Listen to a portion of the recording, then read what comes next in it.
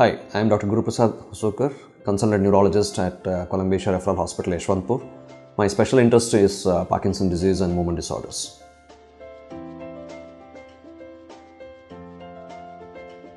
The commonest cause for drug-induced Parkinsonism is neuroleptics. So, uh, when uh, most of the drugs coming under this category can cause some amount of uh, Parkinsonism. If you compare the conventional neuroleptics, the older generation neuroleptics, and compared to vis-a-vis the newer generation neuroleptics, the, the incidence or the severity may be less, but nevertheless, these also cause uh, uh, Parkinsonism.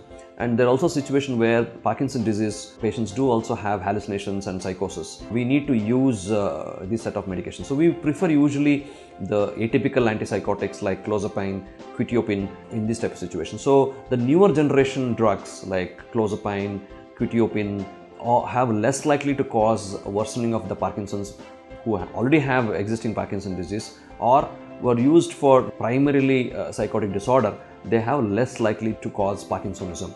Nevertheless, we need to have a close watch on these patients and we need to optimize the doses of these medications or switch over from one uh, set of uh, antipsychotics to another set of and if we come across this type of things. Mostly the Parkinsonism can be reversible, but there can be some amount of residual slowness left even after stopping the medication. So, it, so entirely it may not be reversible and also depends on the continuation of the primary drug. So you need to continue the medications, neuroleptics for longer duration. So I don't think we have any choice. So I think we'll have to balance that and then use appropriate dosing uh, and the class of drug to minimize the Parkinsonism.